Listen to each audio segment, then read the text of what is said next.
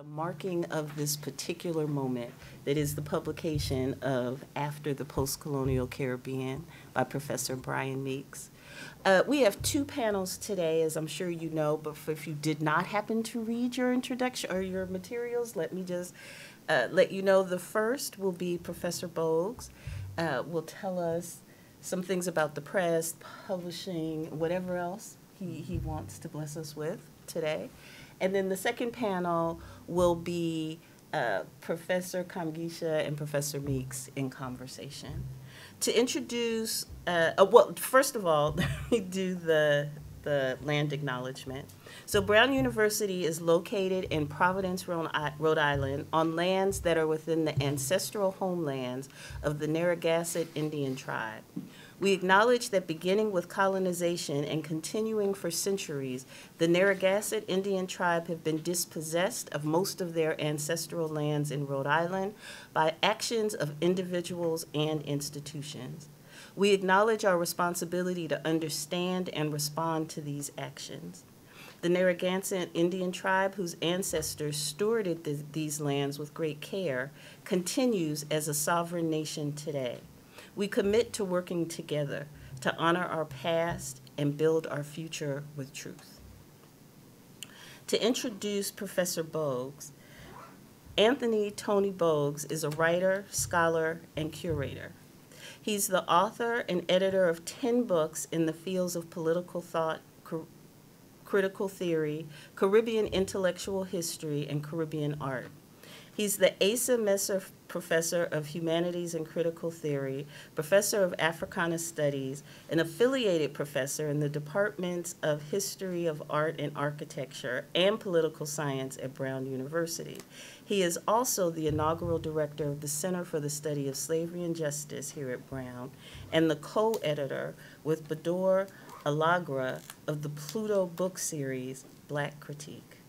Professor Bogues. Uh, uh, thank you uh, very much, Chair. Um, just want to thank all of you for being here and to um, thank the chair for that kind introduction. I speak um, this afternoon, uh, firstly, on behalf of myself and Dr. Bedour Alagraa, who's the assistant professor of Black Thought at the University of Texas, Austin, a former graduate of this Department of Africana Studies, and who's also currently the uh, research professor um, in Afri African American Studies at uh, Princeton University for this year. Let me begin by talking about uh, the series Black Critique, in which Professor Meeks's book is published, and why such a series. Uh, sometime before COVID, um, myself and others were in discussions as that there were no there was no book series that uh, published black radical thought.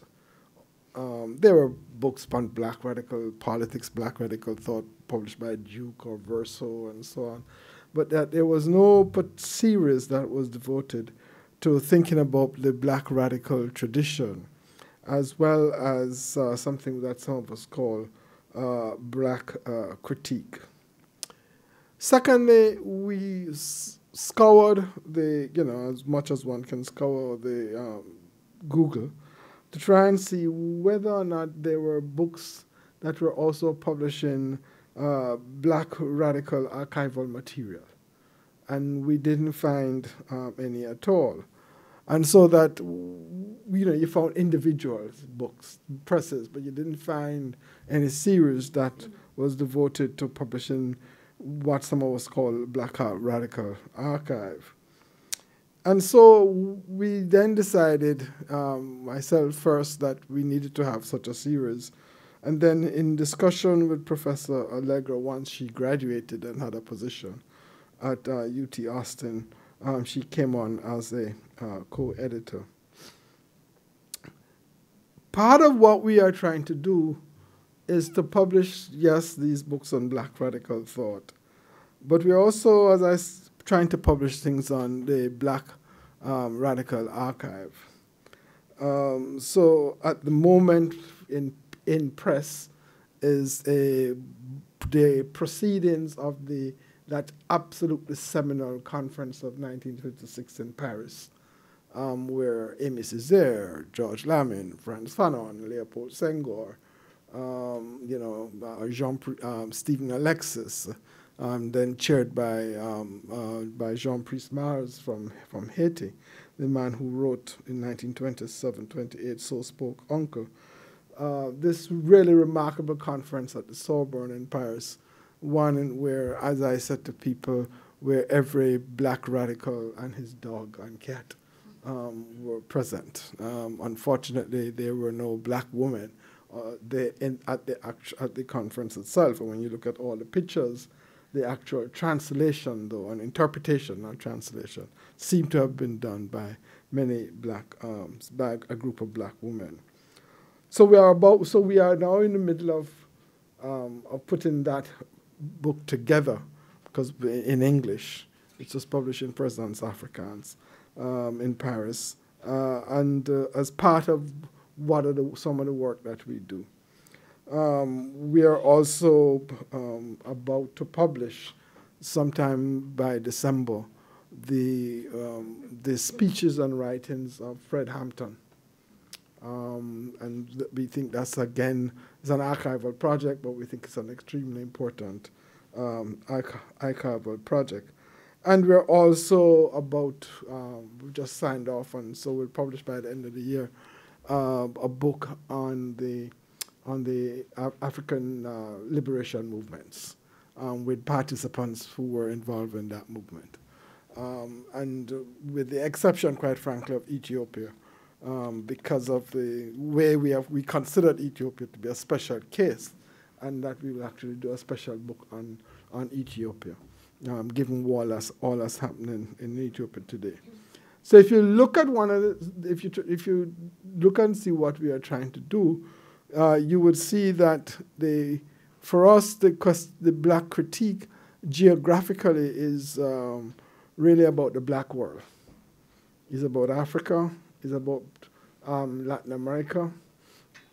It um, it's uh, we're we're going to publish for those of you who know anything about South Africa.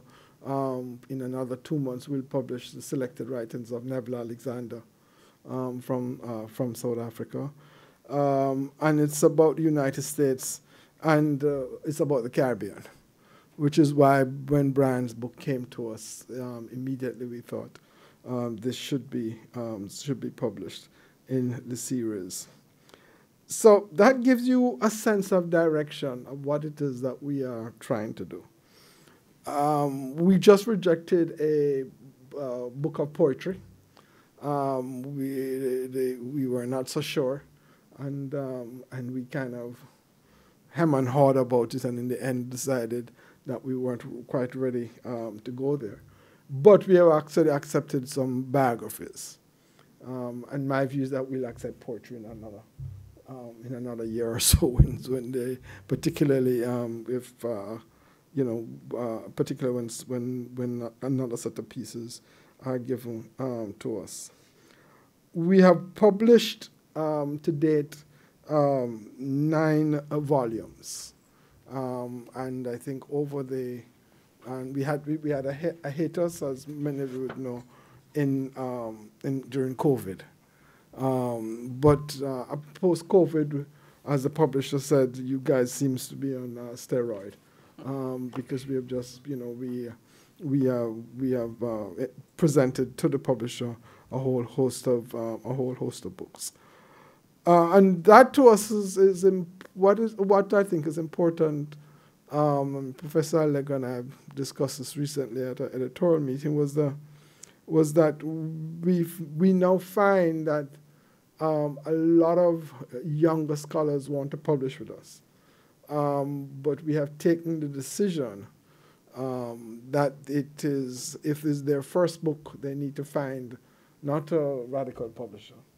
Um, because that was going to make their tenure process, if they want to be in the academy, that's going to make their tenure process a little difficult. Um, but there's one person who is insisting that he don't, doesn't really care.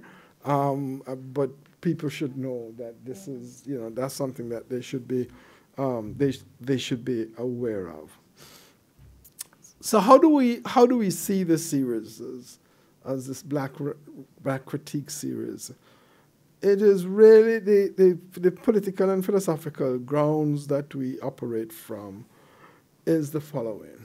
One, that the, um, the, since the neoliberal, what Stuart Hall calls the neoliberal revolution, which was consolidated in the 1980s uh, at a political institutional level with Thatcher, Kohl, and Reagan, that the, there has been a, the left or, or, radical thought or critical thought, whatever you want to call it, has um, has taken a back seat, and that what what what in, the, in that pe in the period, that forty odd years, forty three years since neoliberalism, quite frankly, um, that it was a period in which there was that left ideas were defeated. That's how you know, and in some cases, it wasn't just ideas that were defeated it's in some cases military, uh, political defeat was there because political defeat comes first before the, the defeat of ideas or the rolling back ideas. But in some cases, it was also military defeat. Um, and so that in those, in, in, in that, mo- in this period, in, what in what some of us call the rhythm of revolt, um, you know, radical decolonization, etc., that the, what has happened is that the, the, has, the conjuncture has been characterized by defeat. And, and a current conjunction that's characterized by defeat means that some of the ideas are, um, are, they are being rolled back, but also very importantly, the terms of the political debate has changed. And it is those terms of the political debate that we are preoccupied with. Uh, that we think that the um, the ways in which, um, and here I always quote Mrs. Thatcher in our birthday in the birthday party of Reagan when he was having Alzheimer's, where she said, "Don't worry, um, Ronnie, um, we have won the battle of ideas." Because of the battle of ideas, which is the, ter the terms of political debate, and therefore the horizons in which one can think about politics and, and, and the different possibilities of change um, were, if you wish, um, narrow, become extremely narrow. Part of what I think that means is that there is, is that neoliberalism created within the political field a, um, a kind of uh, historical um, amnesia. And that, that in that historical amnesia, it wasn't just that ideas were defeated, it wasn't just that political horizons were limited, is that people thought that nothing happened before. Um, and, and if you didn't think anything happened before, you thought that everything that happened before eh, was ended up uselessly. And therefore, if it was useless and, and so on, then it doesn't make any sense to think about anything else. Um, so this, this, I, this this, no, this the notion that some of us have been working with a historical amnesia as part of the neoliberal revolution um, meant that the archives and the and the and the ways in which black people um, historically have not in a hist- heroic narrative, but in a way black people have actually attempted to change their lives um, to you know to do what um, what the African Americans call make a way out of no way. That those things I don't seem to be on the not just other not on the agenda, but it's just inconceivable. It makes no sense to think to think about it. And part of that, I would argue, is the success of a of a creation of a certain kind of historical amnesia. So part of the political purpose of the series deliberately was to intervene in that historical amnesia um, to, to publish contemporary texts.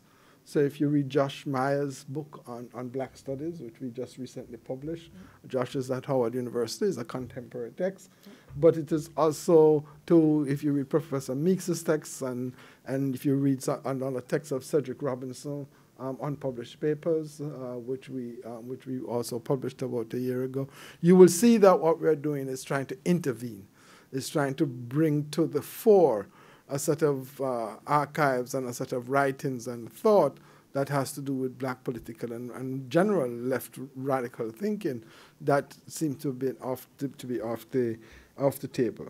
So that therefore the series has to be considered as an, as an intervention. Um, uh, it is an, an, an, a direct political intervention into the, into, the, into the political field that now in which we all uh, inhabit. It is in that context that we accepted Brian Meeks's book as, as, one, as a book of intervention. Um, geographically, it's the Caribbean space. But some of the questions and some of the issues that Professor Meeks's um, book raises, I think, are important for those persons globally who are trying to think through this question of what next, how, what, what do we do, what, where do we go from here? Um, are, are there any, as a friend of mine used to put it, uh, um, uh, are there any points of light um, that uh, from the past that we might want to think about that might help us um, shape, um, think about, uh, think about the, the future. Professor Meek's book is the first Caribbean book, no, second Caribbean book. The first one was, um, was uh, the selected writings of Dyer, um, the Guyanese um, political, uh, Guyanese and Caribbean uh, political thinker, someone who I've written about as perhaps one of the finest political thinkers um, in the Caribbean um, in the late 20th century and, and early 20th, and that they, or the 21st, sorry, and so that uh, it's, it's, we, we have a Caribbean line, and there are other texts that are coming that I know that are coming from, from the, uh, from the, you know, coming through that, through that particular line. Professor Brian Meek's book is, uh, operates within this milieu, this conjuncture of the defeat. But he wants to rethink uh, possibility. He wants to think about something else within the Anglophone Caribbean. And therefore, if you, go to, if you look particularly at the last chapter, which is on about optimism, what you see is that Professor Meeks is uh, being somebody who grew up and participated in a specific moment in Caribbean history and political life, that he is trying to wrestle with the kind of general absence of a broad social movement or, or an overt broad social movement in the actual in the in the anglophone uh, Caribbean. And I say overt because we are accustomed as political analysts and so on to look for big signs. Um, and, but there may be other signs, particularly in the Caribbean, I would argue, at the level of culture and the level of discourse that are taking place that we are not yet able to read or we're not reading in a certain way um, because of what because of the eyes that we have been trained that we have and, that, and trained to look at, at certain things. But let us assume that there the broad social movement is, is not there or it is quiescent. And then ask ourselves the question okay, um, where do we look uh, to find it? And uh, I would just say to you, where do we look to find it and, and, and what, and if we find it, what are its struggles? If they indeed they are, they are, they are struggles. And here I'm speaking specifically of the Anglophone uh, Caribbean. I cannot answer that question. Um, I have spent, some of you may know, the last two years, um, basically almost two weeks every month, in one Caribbean island, um, doing a certain kind, doing a project, which would have tied me to um, a certain kind of politics and political understanding. And even spending all that great amount of time, I myself have not yet found, formed a definitive opinion about um, in response to this particular uh, question. However, I think spending that time has also opened certain things to me, which I would just want to share. One of them is to think about how does imperial power expresses itself today. And uh, usually those of us, you know, 70s, 80s, and so on, you know, foreign ownership of e economy, that's there. Um, you know, uh, the ways in which uh, questions of sovereignty are, um, are, are, troub- are, troubled by imperial dictates, um, particularly if you're in, if, if in American uh, backyard. But also, I think that there is another way in which imperial power operates, which is much more subtle and which we do not necessarily pay attention to. And this is the actual international financial system. And we take it, you know, we just kind of take it for granted. But one of the things that struck me in the and that struck me in the Caribbean in the last two years is the debt crisis for the entire region. We have had it there before and so on. But when you have a situation and you look at the IMF numbers of the countries of the region where in where you know you have things like general government gross GDP debt of Dominica is 102.8 percent. Um, Jamaica is 86.2 percent. It is over 100 percent. It has gone down. Then what you are looking at is the way in which the financial control, multilateral uh, financial control, of and government control, multilateral, and, and um, as well as uh, uh, bilateral debt stymies any understanding of what it is, quote unquote, economic development and social development might, might look like. to the extent where in the Jamaican constitution there is now a line that says that our debt cannot be over a certain percentage in your constitution.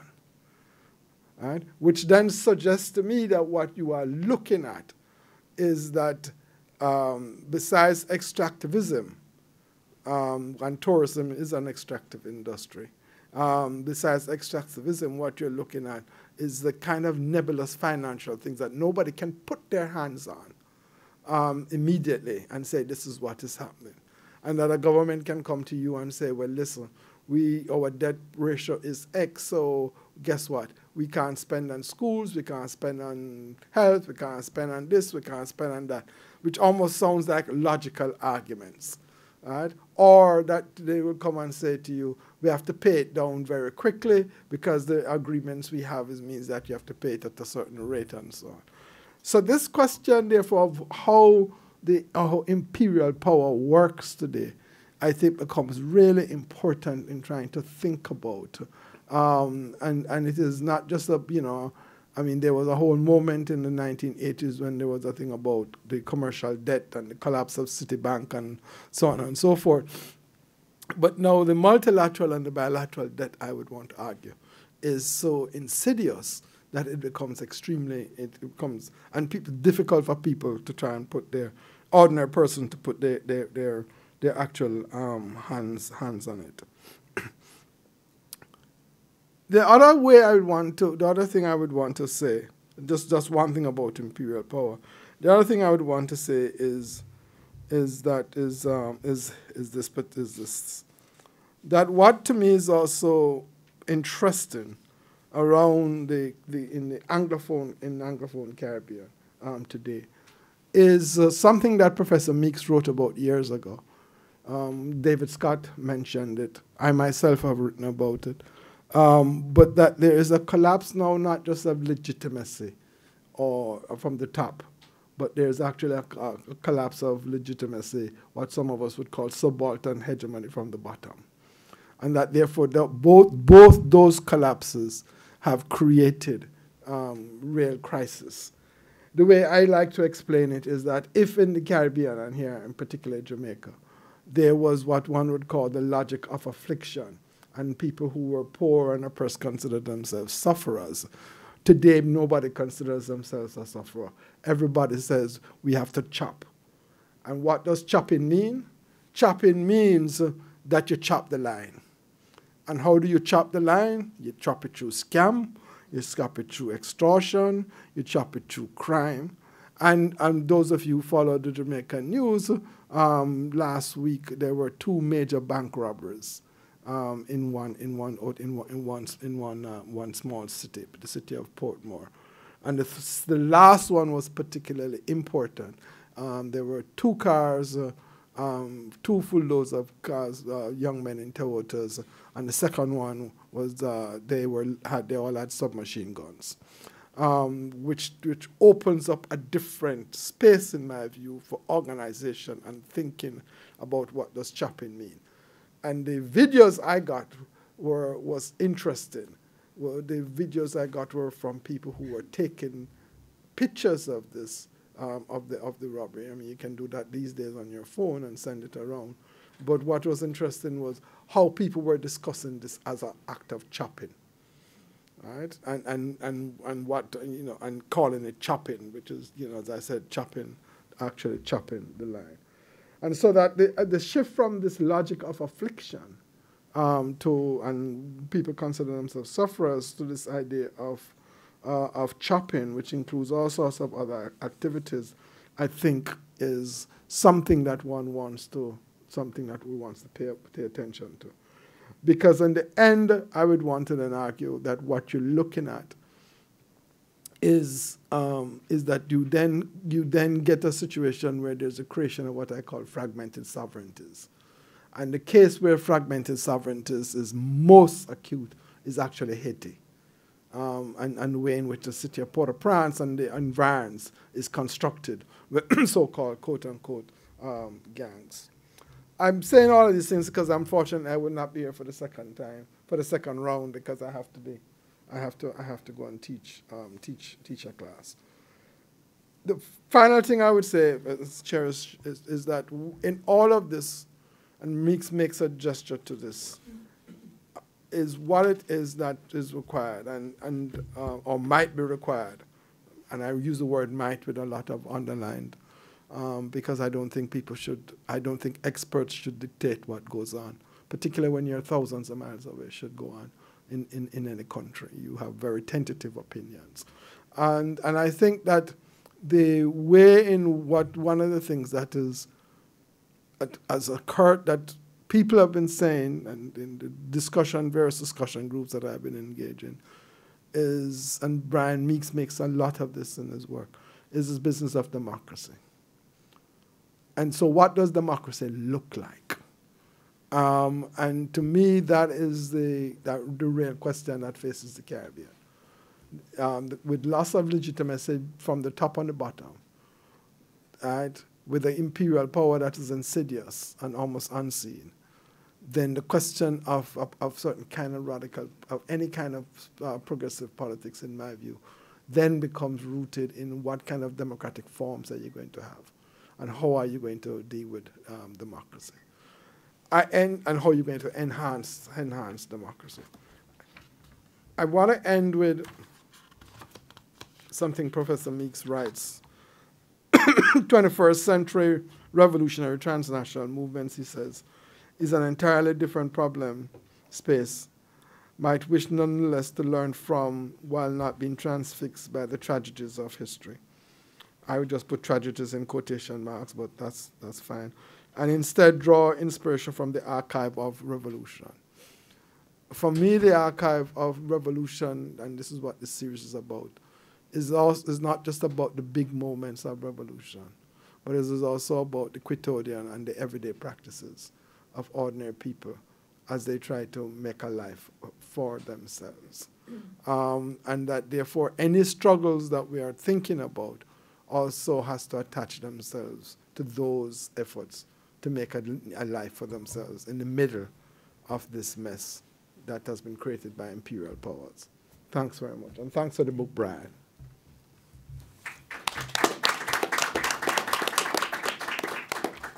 I mean, if nothing else, you're going to want to buy all of the books in the Pluto series. And also, um, I think that is a fabulous setup to the import of this book. Um, all of the threads that are overlapping and urgent in this moment. So, uh, Professor Meeks, the author, and Aaron. See, now you messed me up because you told me how to say it, and now, okay. Um, Kamugisha. Yes. Yes. Uh, are are going to engage in a conversation. Professor Meeks is a professor of Africana Studies at Brown. He's published many books and edited collections, including Critical Interventions in Caribbean Politics and Theory, which is from 2014, Narratives of Resistance, Jamaica, Trinidad, and the Caribbean, which is from 2000, and Caribbean Revolutions and Revolutionary Theory, an assessment of Cuba, Nicaragua, and Grenada, 1992. His novel, Paint the Town Red, was published in 2003, and his volume of poems, he's a Renaissance man, right? The Coup Clock Clicks was published in 2018. Aaron Kamugisha is the Ruth Simmons Professor of Africana Studies at Smith College and the author of Beyond Coloniality, Citizenship, and Freedom in the Caribbean Intellectual Freedom. In the Caribbean Intellectual Freedom? Tradition. In the in the Caribbean intellectual tradition, and the editor of seven edited collections and six special issues of journals on Caribbean and Africana thought. So without further ado, I'll turn things over to two of you. Thanks, Noliwe. And um, I'm going to say a couple of opening remarks, and then Aaron and I are going to engage in a conversation. If this works out, I agree with it. If it doesn't work out, it's Aaron's idea. but we're going to try. Uh, so um, thank you, Tony, for that sort of framing and introduction. And thank you, on, uh, Bedour Alagraa, for your Black Critique series in which the book appears. Thank the entire team at Pluto, um, a radical press in uh, London, um, quite remarkable history, for considering it worthwhile. Thanks to my colleagues in and out of Africana Studies at Brown, um, Noliwe for chairing, um, and I see one or two others of my colleagues here. Thanks for coming, um, and for everybody who is here. Um, thanks to Aaron Kamugisha from Smith College, but formerly like me from the University of the West Indies, for finding his way from Massachusetts via complex train routes to get here. And last but far from least, my wife, Patsy Lewis, for extraordinary but not unusual intellectual support and encouragement as the ideas for the book took shape and form through the long COVID night, days and nights. Thank you, Patsy. Some books begin with clear and detailed plans. Hypotheses are established, chapters and sequences are laid out, funding is secured, and then over a very defined period of time, the manuscript is drafted. There may be many more stages before the book appears of editing, cutting, and pasting, extending and contracting various sections, but the overall approach is one of a clear project written and published in a defined period of time. This, however, is not such a well defined book and has followed a somewhat more meandering, convoluted path. I've been thinking for some time to write a book reflecting on a number of critical thinkers, activists, and scholars who inhabited the space of my growing up, the post colonial Caribbean of the 60s, 70s, and 80s, in order to better understand its atmosphere, mood, and zeitgeist, and why those first post colonial decades followed their own parlous path, uh, roots. And this original conception was supposed to have been a bigger work involving perhaps eight to 10 chapters. At the same time, over the past decade, I've had another book in mind, developing and moving beyond a study I published in 2007 called Envisioning Caribbean Futures Jamaican Perspectives. Envisioning, as I suggested in this volume, was produced in a moment of stasis when the Caribbean impetus towards radical change had ebbed, but there was as yet no counterflowing tide either regionally or globally, on which to think and imagine more expansive, capacious futures.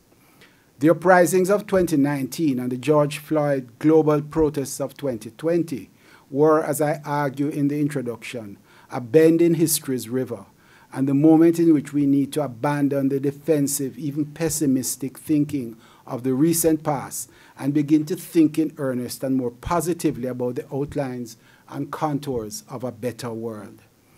So, with the urgency of what I thought was the need to get these ideas out there and to encourage a new conversation around Caribbean futures, I began to think, aided no doubt by the forced quarantining of the COVID years, why not combine the two notions into one?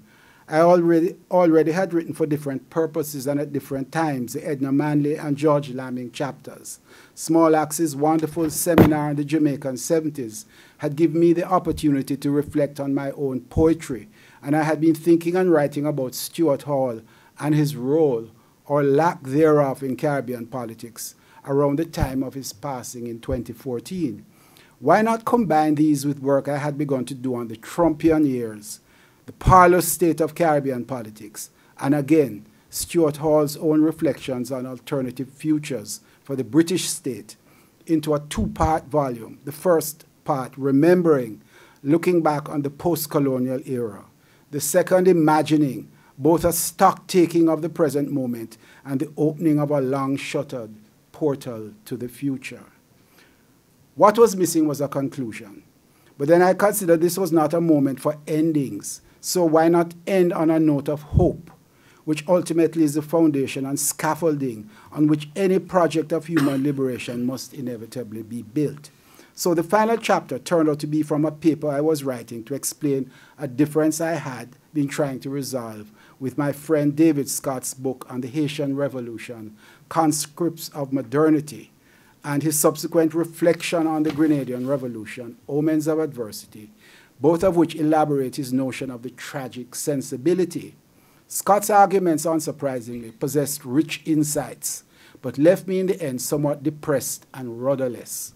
Ironically, this ran counter to my reading of C.L.R. James' magnificent study, The Black Jacobins, and the chapter seeks to think about that book and James differently and to remember the unleashed human possibilities that James invoked in the Black Jacobins, and how we can think about these as inspirational foundations for the more engaged forms of political struggle in the Caribbean that are bound to come after the post colonial Caribbean is quite evidently not a political economy text. It is definitely not a set of well defined policy proposals to be implemented point by point. Nor, on the contrary, is it a theoretical text with a high degree of abstraction, only hinting at the foundations for future practice. Rather, as I see it, it is an early meditation on what we can begin to think about as the post colonial past, followed by a series of gestures and sketches suggesting the barest outlines of possible emancipatory futures. So that is the book and its history in miniature, except for the cover. Myself and my wife, Patsy Lewis, bought the etching on plexiglass Le Royaume de ce monde, the kingdom of this world, from Edouard Duval Carrié when he visited Brown's Center for the Study of Slavery and Justice some years before COVID struck. Can't remember how many years because COVID um, distorts time. Um, some years before COVID struck. The piercing eyes, as Edward told me in response to my query, were those of the witness, Ti Noel, in Alejo Carpentier's iconic, if contested novel of the same title. And below Ti Noel's gaze is Christophe's magnificent fortress, La Ferrière, what better way, I thought, to capture the power and majesty, the will to be free of the revolutionary anti colonial moment, yet simultaneously the dangers and uncertainties that lie along any path of radical transformation, than to try to portray graphically the history of the first post colony. Haiti, we must always remember, was named in a profound gesture of generosity by self liberated African people in honor of the decimated first inhabitants of the central Caribbean island. Thank you. Over to you, sir. Indeed.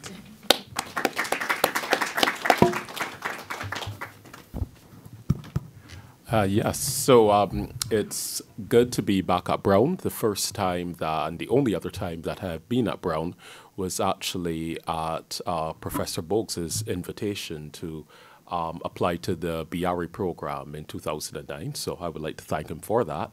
And I'd like to thank Brian and everyone else who's made this particular trip possible.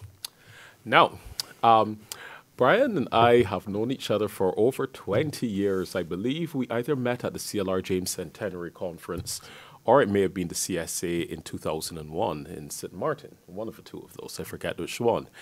Uh, but certainly, he is the most prolific political scientist of his generation in the Anglophone Caribbean. And his many books, and I have all of the single authored books right here, you know, well thumbed and stuff. No, I didn't just buy them from the campus bookstore.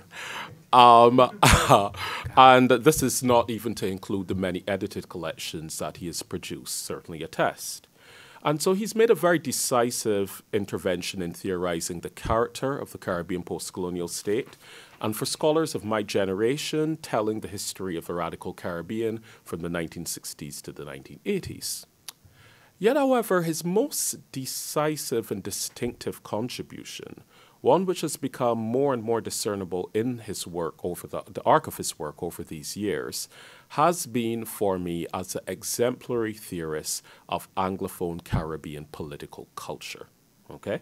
And by Caribbean political culture, I should say, I very decidedly do not mean an area of such study that is a subset of cultural studies, but rather a tremendous multidisciplinary engagement with the Caribbean social sciences and humanities to ferret out what we understand the armada, what we understand about this armada of political forms, options, and consciousness um, that we see in Caribbean people over time and space. So, um, in suggesting that we have a dialogue here, I have crafted seven questions that I want to ask Brian. And yes, it is my fault if this does not work out very well. Okay? Um, but, and I'm going to get to them, but I first want to make a couple of comments about the introduction to this book.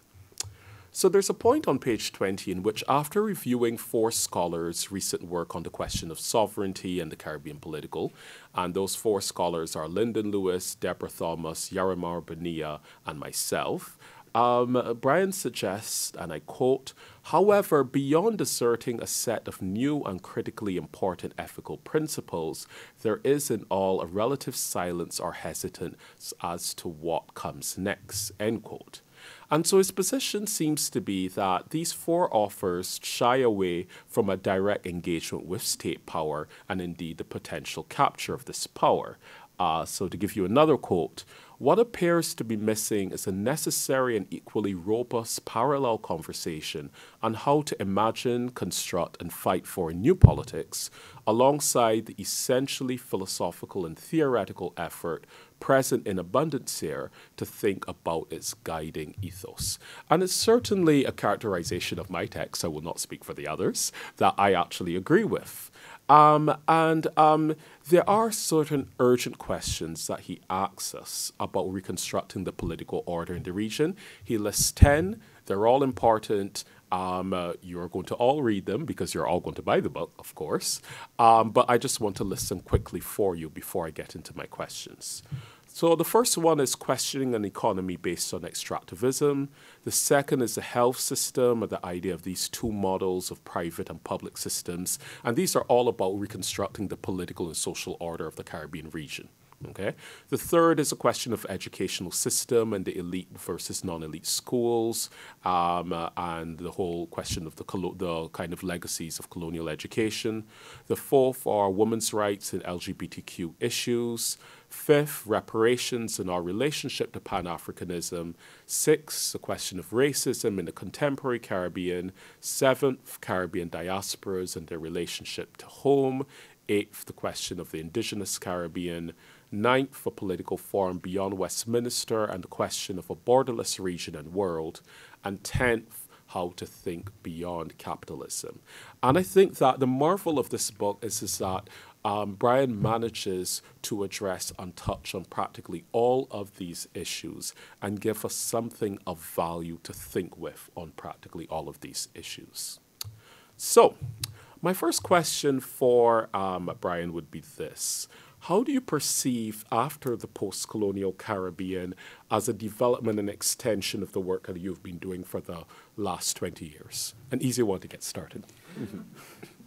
Thanks, Aaron. And I, I, feel as though I'm sitting SATs uh, again. But let, let me try anyway uh, by saying that it, it, it's definitely an organic extension of work I've been doing because, you know, this, this sort of um, Sankofa like looking backward to look uh, forward um, is, is what Caribbean history has always been about, what the historical project has been about.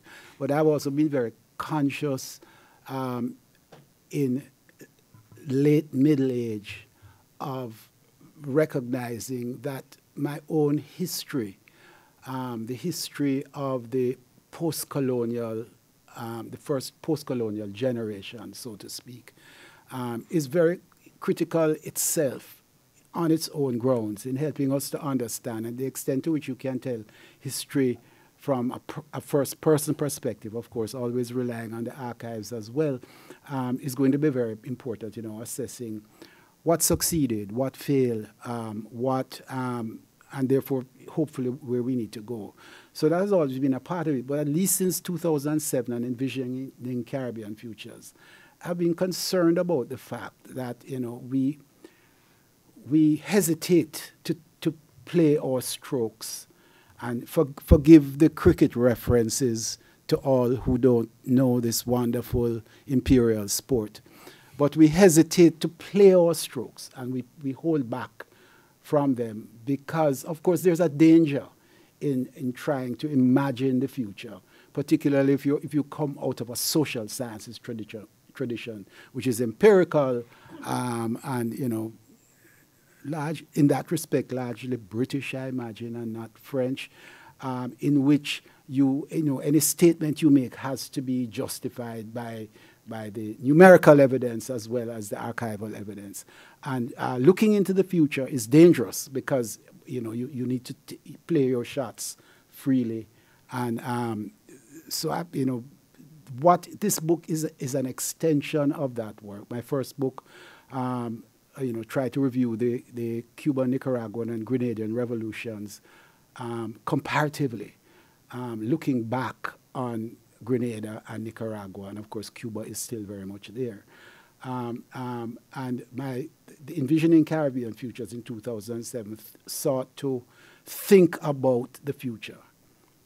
Um, I, I, and, and this book, in a sense, draws on what I think is the changes in the world that have occurred since 2007, the crash of 2008 9, and the upwellings, uh, if you want to say uprisings, of uh, 2019 20, which demand that we think beyond the, the, the neoliberal agenda. It demands that we put, bring the elephant into the room, which is capitalism and call it by name and not, not just thinking about neoliberalism, which is essentially a phase, a moment in capitalism, mm. as opposed to the big question itself. The Guadeloupeans and Martinicans, when they rose up in 2009, called it profitation. But what they were referring to was the bigger system. Mm. And it, so I'm saying that, that is essentially this book, therefore, is both intimately connected with how I've been thinking and an extension of that thought. Indeed. and I'm glad that you mentioned the Envisioning Caribbean Futures book because um, in chapter six of this work, you actually counterpose your 2007 manifesto in Envisioning Caribbean Futures and read it with um, and in light of Stuart Hall and all's anti neoliberalism Kilburn Manifesto. And in Envisioning Caribbean Futures, you're very clear that the proposals are based on the specific conjuncture faced by Jamaica in the first decade of the 21st century, um, and you limit your claims in terms of thinking about extending them further to the rest of the Caribbean. But I am bound to ask Does Jamaica have a Caribbean future? Or to put it differently, if the deepening of interregional cooperation and integration is a continuous a never refuted argument made by the radical intelligentsia of the Caribbean, then how do solutions that proffer immediately to territorial or diasporic specific initiatives, like a constituent assembly of the Jamaican people at home and, broad, and abroad, how do they work within a regional logic? Well, okay, um, it's a good question. And um, let me say that I wrote that book initially when not wrote it. I, I conceived that book as a pan Caribbean venture mm-hmm. that would look at a number of different spaces. And um, by the time I got around to looking at Jamaica, I had a book length manuscript. Mm-hmm. So there was a sort of urgency to get it done. And I said, look, um, let me do the Jamaican side of that envisioning, perhaps as either uh, impetus and impetus for me to do the bigger study or for other people to begin thinking about futures and to take up the baton and run with it. So I, I always, I, I never conceived it as a totality, but a, a regional example, mm-hmm. which could then be extended. Just start thinking about futures. And in fact, um, after we're finished here and we have a break, we're going to have a discussion in this very room with a number of colleagues and friends who are going to be asking that very question. Indeed. Whither the Caribbean? Um, and the, the reason I'm insistent upon it and have been, at least for myself, is that um, not enough people are asking it. Um, you know, they can talk about the budget um, and, and, how much you're going to put in the budget next next um, month. They can talk about people being, um, you know, shot and the murder rate and so on and so forth. All essential questions. But, you know, horizon is essentially um, one year, two years, and not the sort of 50-year horizon that is absolutely essential. Indeed, indeed. And um, my next question or discussion topic relates to the whole issue of historicizing the radical Caribbean. And as I've said, I've learned very much from um, your work on this over the years. Um, and again, in after the post-colonial Caribbean, there's a particular story of Anglophone Caribbean independence from 1962 onwards, the heightened period of radicalism from 1968 to 1983. But there is a moment that actually isn't flagged as much, and that is in 1953 and the overthrow of the government of Cheddi Jagan in Guyana. Absolutely. And uh, I've wondered over time, and in many ways, I use the same schema in some of my own work. Okay, so this is an autocritique, um, very much too. But I'm wondering what would it mean instead to shift this discussion of Caribbean post-colonial politics back a decade and consider more closely the ways in which the conditions for both post colonial misrule were set in the late colonial periods, last decades, and also um, some moments which allow us to understand uh, uh, or trace a particular conservatism within the Caribbean politics from that period of time onwards. Um, because Guyana in 1953 is centrally important not just for understanding this post colonial trajectory of that country, but also for assessing post World War II Cold War politics and the conservative turn in the region that are going to reach their apogee in the 1980s. So I was just wondering if we don't need to go back a decade um, earlier um, which may seem counterintuitive because, of course, the first ca- Anglophone Caribbean countries to get their independence are in 1962. But we know the terrain of post-colonial politics are really have, are more or less in place after universal adult suffrage and in the very late colonial order or the last decade before independence. So I just want to proffer that to you as something. I can only say yeah. that I agree with you, um, mm-hmm. and that if I had to write it again, I would have to include a, mm-hmm. a, a, a, prior chapter that goes back to 1953. Undoubtedly, mm-hmm. what you say is absolutely true. I use 62, which is a year of Trinidadian and Jamaican independence and the breakup of the Federation, because it is, uh, it is an important marker. Mm-hmm. But the, the, the, overthrow of the Cheddi Jagan government in, in Guyana and the, the history of Guyana, which followed from that, and how that influenced the entire region. Um, is critically important. I can only say Mm-hmm. Um, let's talk about it, and let's let's you know in our joint, not in our joint work, but in our separate works, consider that as an important point that we should think about. Indeed, indeed, yeah. So, um, your work has been very centrally concerned with theorizing Caribbean radical traditions. And again, this may seem counterintuitive, but I want to ask a different question here. Is there a discernible tradition that we might call Caribbean conservative thought. Okay? And I'll explain this. You know, um, I was prompted by a colleague, um, well, a decade ago, a little over a decade ago, when I was putting together those two volumes on Caribbean um, political thought. Well, are you going to have anything on Caribbean conservative thought? And I was there, no.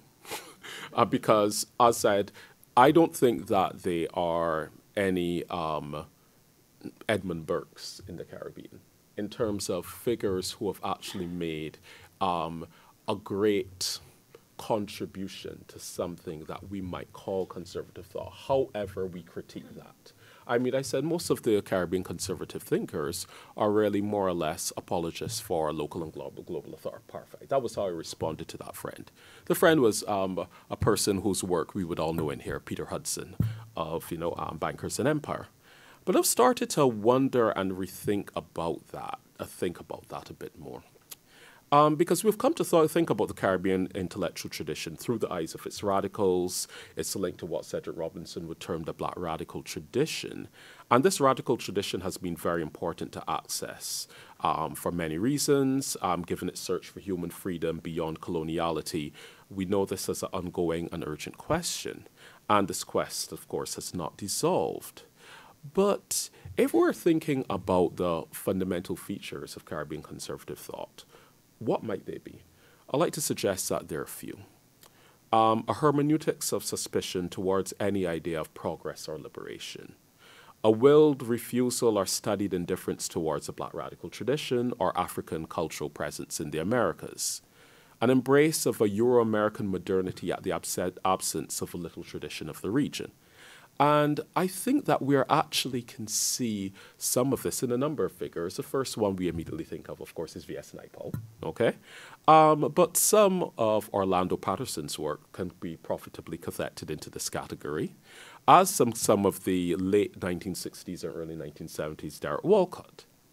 But also, and if we think beyond the Anglophone Caribbean here, we can go to figures in Haitian thought like the 19th century thinker Demesvar Delorme, whose work I recently encountered, um, his Les Théoriciens au Pouvoir, uh, 1870 text from um, Haiti, a 766 page text, in which he argues that political power should reside in the intellectual elite. And he makes this whole long argument going all the way back to ancient Greece and bringing it forward. Um, the reason why I'm suggesting this is not that we are becoming Caribbean conservatives, huh? but I mean, um, I'm wondering if Caribbean conservative thought may give us a more textured understanding of the longer history of Caribbean intellectual history, and particularly allow us to understand something about neglected periods like the late 19th century and the very early 20th century, which we neglect in part because we find the thought of key figures here to be embarrassingly colonial, not suitably anti colonial enough. And I think that in Caribbean literary studies, there has been this move um, towards rethinking the generations beyond and before Windrush, okay, by a number of theorists. And I'm wondering if that's a move that we also need to take in the study of Caribbean intellectual history and in Caribbean political thought. Absolutely, and well said. Um, you know, there, there's a place for that. Um, there's not a place for that in my book. Mm-hmm. Because my book mm-hmm. is about oh, no, no, the radical no. tradition, mm-hmm. and um, it's it's more so its weaknesses than its strengths. Because mm-hmm. um, it, in the generation after the 1960s, it failed, and therefore the question is, why did it? Why why did a movement aiming to complete the emancipatory hope of emancipation, mm-hmm. of, um, of the 1930s labor rebellions, um, and which inherited those traditions of, of liberation essentially failed. So, I mean, my, my concern was, was um, uh, a sort of self examination of mm-hmm. those movements. But um, is there is there need and a place for a, a careful mapping and understanding of conservative traditions? Um, absolutely. Um, and if we consider, I mean, just to you know go back to my own um, country, think about Edward Seaga and the Jamaica Labour Party. Um, a, a, party on the one hand rooted in a labor tradition, but um, dominated by a certain um, loosely defined conservative agenda, which moves between a sort of extreme reactionary position and a more moderate conservative position. We need to understand these movements and, and their characteristics in, in great detail. We need to think of, of you know, the sort of Cuban tradition um, and, and what Miami is, and um, consider, consider that as another pole of conservatism, um, which we need to reflect on. Um, I have a short life and limited energy and focus. Mm. And that is not my energy and focus. Indeed, indeed. But I do think that it is worthwhile of consideration. Indeed, indeed, yes. Um, I want to go from here to um, the engagement that you have with David Scott, uh, which I think is a fascinating engagement. I mean, I've been tracking it over the years. Um, I think that the series of engagements began with Scott's 1995 Social and Economic Studies essay on revolution, uh, which was in part a response to your first book. And it's interesting to me thinking about conscripts of modernity, the fact that there haven't been as many rejoinders by Caribbeanists to conscripts of modernity as one might think.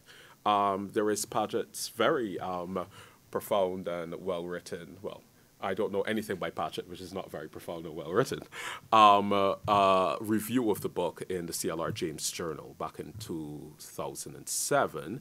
Um, and I also have had my own um, take on the profitable nature, but also the concerns that I had with um, conscripts of modernity. I mean, I very much admire what Scott is trying to do in terms of taking a very great Caribbean text and using it to think about the current moment, you know, and doing a, this long and very extended reading with it. You know, I'm very much there with the idea of doing that. But um, in my own reading of James in the 1950s, 60s period, in which he's crafting all of these revisions and the epilogue to Black Jacobins, I have never considered that James's work here takes a definitive turn towards the tragic. Um, I mean, I think that's one aspect of his work. Okay, that's the point, you know, which may sound very empirical, but it's very true also. Um, I think that there is a larger, more compelling consideration in James of this time a kind of pondering excitement at the possibilities of a Caribbean on the cusp of independence. And of course, if we're going to go to cricket, I see it very much in Beyond the Boundary. I mean, Beyond the Boundary is all about that particular yearning for of the productivity of yes, the male Caribbean body, not on the field of play, but beyond the boundary. And that's why you see that incredible epilogue um, after the 1960-61 series, for those who've read it, when James talks about the batting of Sobers at Brisbane and how it was one of the most beautiful sights he had ever seen, and about the command and control of the batsman, not only of the bowling, but of himself. Mm-hmm. He seemed to be expressing a personal vision all of that is right there in um, Beyond the Boundary, which has always given me pause about um, not just the argument that Scott is making, but the way in which that argument has been taken up by people who are not reading James at all. Okay? Um, but then, secondly, also, there is that argument that Scott is making um, about anti colonial theorists and this idea mm-hmm. of romantic anti colonialism. And it's a puzzle to me, and it's a puzzle that I think that you pick up on and you speak on um, very well in your work, because um, when you look at James, Césaire, and Fanon, um, I think they all see very clearly the possibilities of tragedy in the post-colonial moment. Okay, that's the reason why Fanon actually writes The Pitfalls of National mm-hmm. Consciousness mm-hmm. in The Wretched mm-hmm. of the Earth. But they are concerned, okay, they are concern is not the right word. Um, their aim and ambition is to fight beyond that mm-hmm. and craft a vision mm-hmm. beyond that. So, um, I mean, when you look at Césaire, we've all read lots of Césaire in this room, huh? um, but I recently found that lovely essay by Césaire, The Responsibility of the Artist, which was present, which was published in Présence Africaine in February, March of 1959. You know, and just to give you a moment, the very first paragraph, okay? Um, we are at a solemn moment, the moment when colonialism is not dead, alas, but at any rate already knows itself to be mortal. Colonialism is still able to crush and oppress, perhaps more savagely than ever. One thing is sure, however, it is mortally wounded, it knows it is perishable and has lost its historical assurance. And Césaire goes on from there to talk constantly about that question of the watchfulness we need to have and the responsibility of the artist and what the artist actually has to do for the wider community. And I'm not going to read further on mm-hmm. in Césaire um, here, but um, there is, just to give you parts of that very last um, uh, paragraph of it.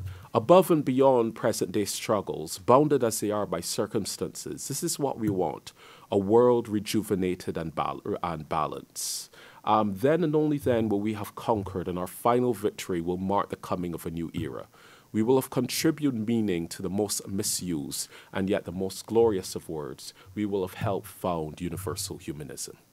So um, I've always been puzzled by that particular argument. Um, and uh, that Scott is making. And I found um, the discussion that you have is one of the most pointedly concerned with Caribbean radical futures of all of the engagements of Scott on this particular question. And um, in the context of 2020 and onwards, of a possibility of clearing what you called a foundation for radical optimism. And there's a point in which um, you borrow from Lenin's description of a revolutionary situation as one in which the ruling classes are not being able to continue ruling in the old way to suggest that this may very well be the situation today. But I um, want to press you a bit on this. Um, I feel at one moment somewhat doubtful. Um, as I was just saying just before we started, we have had in the last two weeks two of the three biggest bank failures by assets in U.S. history, which seem to have barely registered as a blip on the public consciousness. And um, I'm just wondering about do you think quite, though, that we have the foundation for radical optimism at this moment based on what is actually happening and the trajectory, even of the last two years um, post George Floyd's murder, rather than the fact, which I would agree with, that yeah. we have to continually strive for it. Yeah. Yes. Okay, thanks. I mean, that's a wonderful and um, really rich and multifaceted question. Let me first start with David um, and let me express extraordinary respect for the work he's been trying to do. Mm. Um, and, uh, you know, I see a few anthropologists in the room, so most of you may very well know Scott's work. Um, but uh, what I think is the, the great success of conscripts and of Omens of Adversity, which follows, mm -hmm. is the question of establishing this notion of the problem space. And I think the notion of the problem space is a sort of meta theoretical attempt to recognize that as we move through time, things change, and, and, and therefore the sets of things that we're looking at change from time to time. And I think this is this this this either it's very simple and obvious or it's a major theoretical breakthrough. For the time being, I'd like to consider it a major theoretical breakthrough. Having said that, um, Scott then establishes this notion of, um, of, of, tragedy um, without giving it that same fleetness of foot that he gives to the notion of the problem space. That is, time and space change, and therefore the new problem spaces arise. And the extent to which a problem space has value in one moment may not and may yet not have the same value in another. And then there's also the question as to whether or not we can silo problem spaces, or as I suggest in the book, whether problem spaces leak into each other. Mm. That is to say that a problem space may not be pure and may not be defined by the fact that everything within it is self-contained, but that it also contains some of the old problems as well as the new problems that are arising as we move through time. Mm-hmm. So I, I, I, just want to say, first of all, that I, I, I respect the work he's doing, but ultimately, I, I, th- this notion of, of, of, of, a, of a tragic sensibility. I, I reject. I, I, but at the same time, I rescue from it the notion of us walking with a sensitivity to tragedy. Mm-hmm. That is to say that we don't live with a tragic sensibility, but we recognize that things can go south all the time. Mm. And in that way, we begin to think about how we move forward. So mm. I, I, I, I, try to modify him. I also try to differentiate Scott in one of my footnotes um, from um, um, Afro-pessimism. Afro-pessimism, yes. And I, I, I, try to make it clear that Scott's, Scott's agenda is not the agenda of Afro-pessimism, mm-hmm. Um, very distinctly. So that's in relation to Scott, in relation to the times we live in. But absolutely, what you're saying is that the financial thing is, is crumbling down.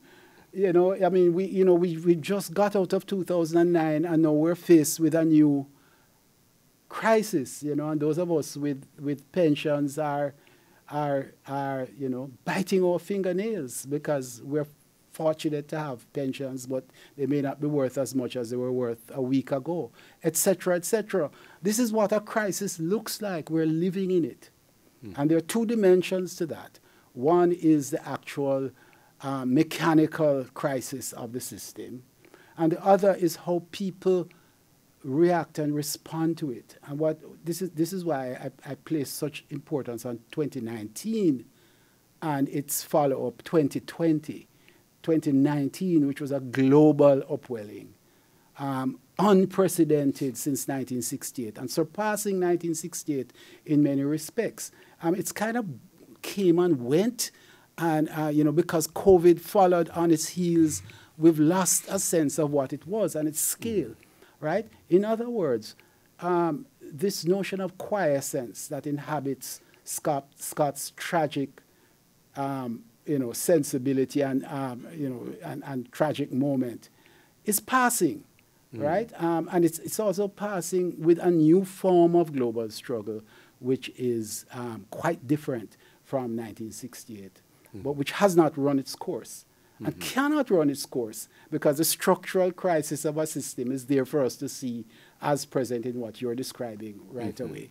So we're, we're I, I, think, I think we're moving into uh, a global revolutionary moment, mm-hmm. um, which need not necessarily um, end in revolution. It could end in um, a dissolution of the world as we know it. I don't think it is business as usual. That much I'm clear on. Mm-hmm. Um, and um, the question is um, what, what words, what concept, what theories that compel us to consider them as being serious and taken seriously? Are we building and constructing to meet the moment?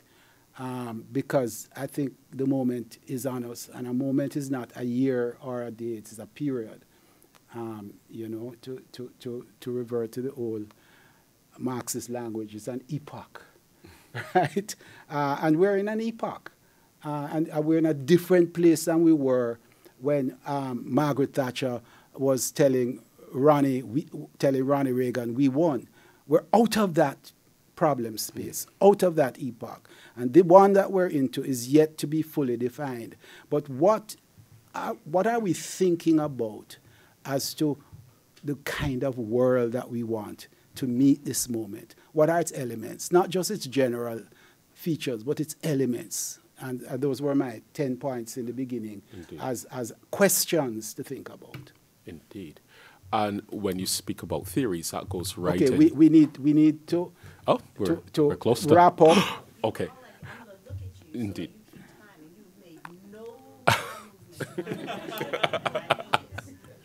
yes. We do. Okay, so I'll ask one question. My last two, I'll ask as one, and then I'll be finished. So, um, when you talk about theories, um, the question would be on uh, the recent work on racial capitalism and the upsurge in interest in the category of racial capitalism. Um, uh, how do you help see this helping us discern the political economy of contemporary Caribbean racism? And joining on that, on the question of a socialist project in the Caribbean, um, you suggest in the work that um, we need to think beyond capitalism so reasons are undeniable as they are salutary. However, you don't actually ever suggest a socialist alternative, okay? Or even moving gradually towards a socialist alternative. So I just wanted to put that to you as the last question. So yeah, well, well, I, I do. And I disagree with you. Oh, I, okay. I think Mm-hmm. I think that my entire engagement with Stuart Hall and the Kilburn Manifesto Mm-hmm. is the beginning of trying to sketch the outlines of what a different kind of economy would look Okay. like.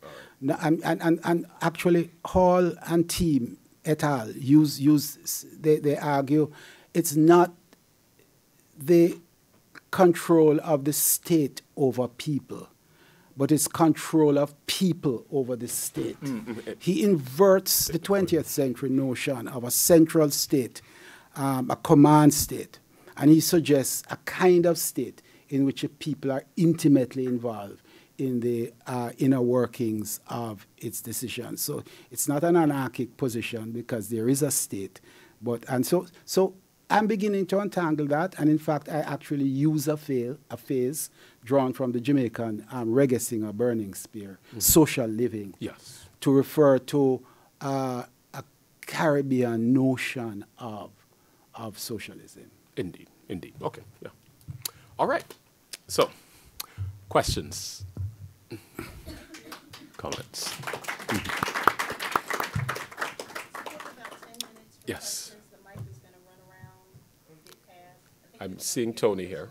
Yeah. Yeah, Yes. Yeah, but a mic, Tony. uh, because I have to teach. Um, thanks, thanks to both of you. I want to uh, push back, Brian, a bit on your thing about revolution, um, and I want to. It's on. It's on. Yeah, thank you. And I want to ask whether or not we are um, not, and I'm here using the Gramscian phrase, if we're not at an interregnum. In other words, the old is dying, but it has not died, which is why, you know, I mean, you know, you we are talking about bank failures and so on. I'm, I'm thinking very much of the Caribbean and on the Anglophone Caribbean in particular, and the, the ideas and that uh, in the Caribbean and how people are thinking through struggle. Um, so that if the old is dying but not yet dead, it's not on its deathbed, but the new is not yet born, that moment of ignor- ignoregnum is when morbid forms appear. And, and, and if morbid forms appear, then you're looking at fascism. Not just looking at authoritarian populism, which Stuart would have talked about in, in the first um, version of his idea of neoli- neoliberalism, revolution.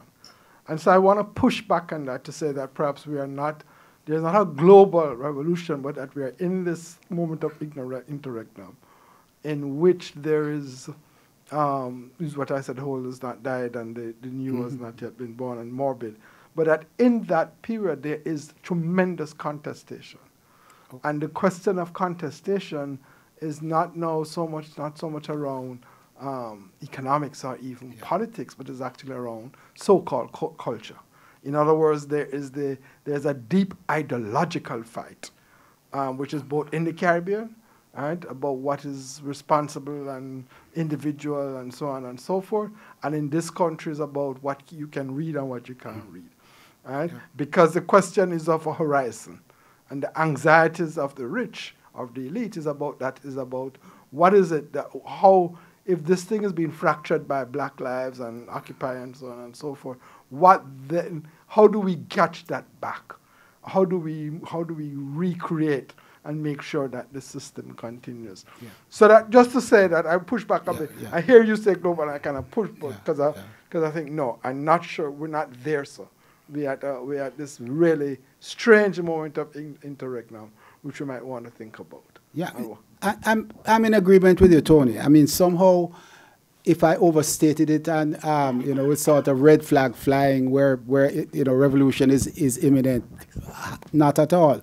Um, we're structurally we're in a different place in terms of the global economy, et cetera, et cetera. But that notion of an interregnum, I'm quite happy with that. In fact, my introductory chapter is called "A Bend in History's River." um, specifically because I, I, I, I don't want to give the impression of a, a, a 180 degree turn or anything. It's a bend in the river. This is what the moment of, of, of 2019 was, I thought. Um, and absolutely, um, in, in, uh, the, no, and I, I, I make that point yeah. too. You know, I, I try I try to make the point that the Anglophone Caribbean is in a peculiar place. Um, you know, if you I, I mentioned Puerto Rico in 2019 and the, the uprisings there. I mentioned um, um, Haiti.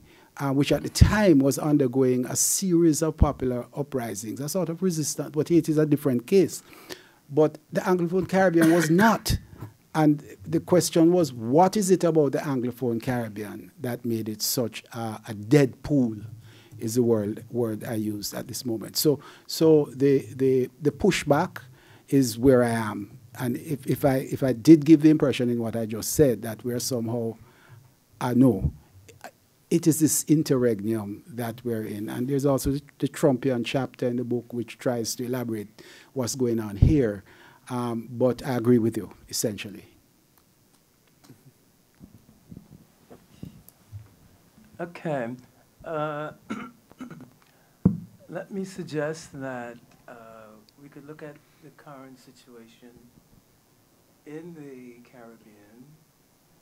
Uh, Hold the mic closer. As a result of the fact that the region, uh, you know, is in the grip of three basic forces. It has been captured by the neoliberal experiment, no question about that. Uh, as Lloyd Best put it, uh, it's a googly, which is a particular kind of ball you bowl in cricket, that Caribbean, that Caribbean uh, political leaders have not yet found a way to hit out of the park. In other words, they hit a home run from it, right? So uh, neoliberalism is definitely something that has to be examined, looked at closely, and why it has paralyzed the region in the way that it has. Second, uh, and because of the visibility of uh, David Scott here, I think the region has also been captured by post-structuralism. And our thinking, uh, you know, has been, you know, really turned in that direction without really asking ourselves the question, how adequate, how relevant, how appropriate uh, post-structuralism is for the region. And I think we have to work through that very carefully because to me, there are a number of problems with post-structuralist thought that I have been arguing make it sort of inappropriate for the region. And third, there are the failures, the limitations, the lacks that have emerged from uh, the left in power. We have to look carefully, right, at the politics the policies, the behaviors of the left in power. And I think uh, if we look at these three forces objectively, as objectively as we can, the way forward, at least ways forward, not the way, ways forward emerge very clearly. Right? So I don't, this is why I just don't see this as a tragic moment. You know? There's a way out of this. I mean, when you look at the crisis of the 1930s and you look at the crisis that we're in now, I would argue that the crisis of the 1930s uh, was a bigger, uh, uh, a bigger crisis. This one, I think, is more complex because you have so many issues coming together at the same time. The environment, gender, sexuality, class, race, capital, right? In that way, it's more complex. But in terms of power relations, the kinds of things that need to be done, we can handle this. yeah, well, I mean, that's pretty much what I've been trying certainly in relation to the history of the left, um, and certainly in relation to, to, to at least tackling with David. Uh, this is what I've been trying to do uh, in this book, um, you know, more or less. So I agree entirely with your, with your framing. Do we have any? So I have, I have one really quick question. Yes. You can answer it fast. We have four minutes and. yes. Um, I'm actually struck by the genres that you work in. And I'm wondering if you could just talk a little bit about what those different ways of seeing, um, ways of analyzing a poet, a, a novelist, a scholar. Um, do you do you separate those when you bring your vision to these kinds of questions? Do do they inhabit a similar space?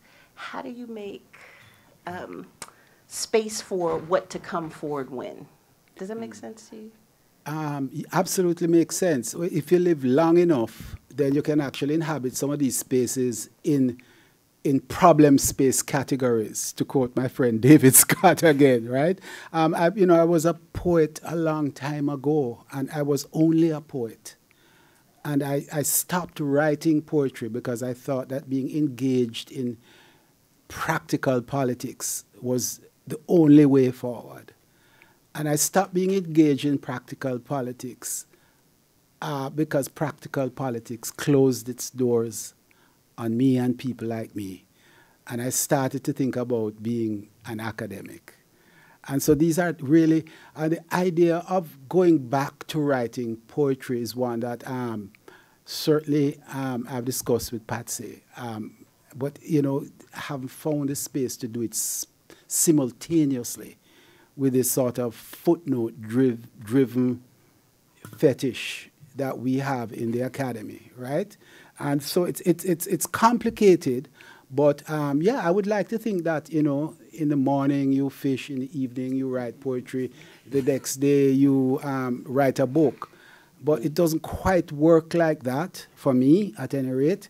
So if you live long enough, you get to write a novel, and then write poetry, and it kind of looks like like that, but it's it's it's more time time and space separated.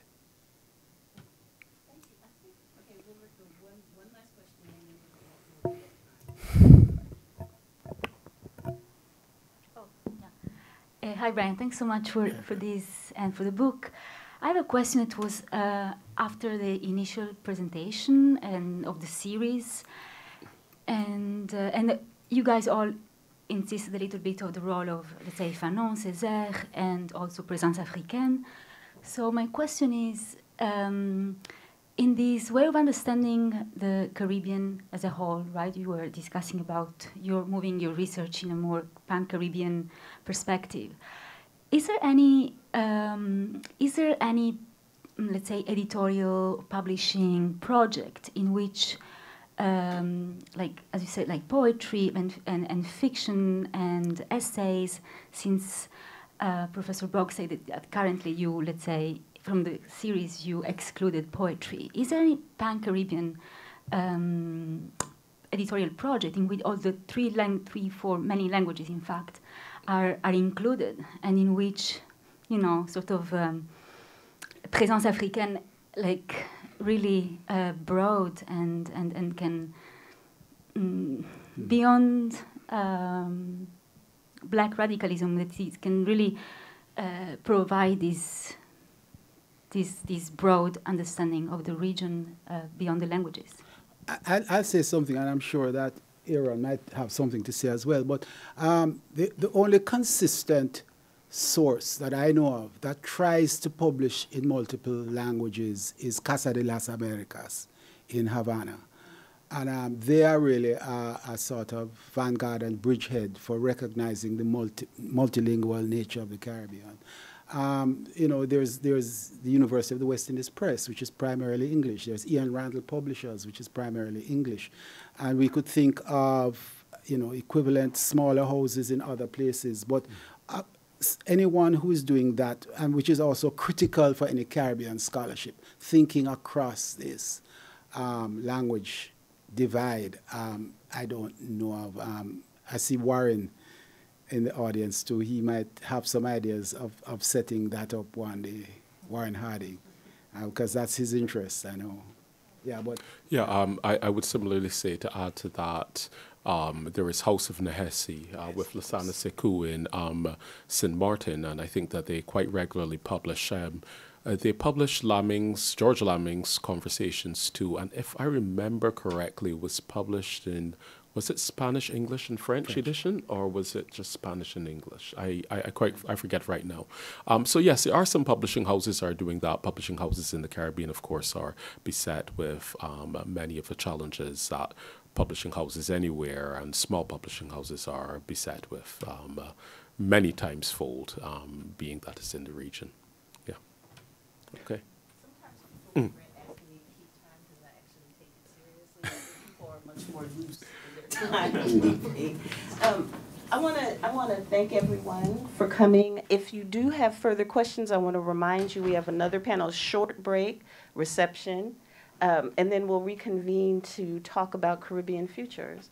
And hopefully, you know, this has set up some thinking, some questions, given you a context. You will go refresh a little bit, come back, um, and join us for the rest of the evening. Buy the book buy the book, buy m- multiple copies of the book. There are holidays that will be coming up soon. They will appreciate copies of these books. Let's sell out the book. How lovely would that be? If any of you with expense accounts who buy for departments, feel free to go deep into the book buying. This is a book launch event, but thank you all for coming. Thank you. Thank you.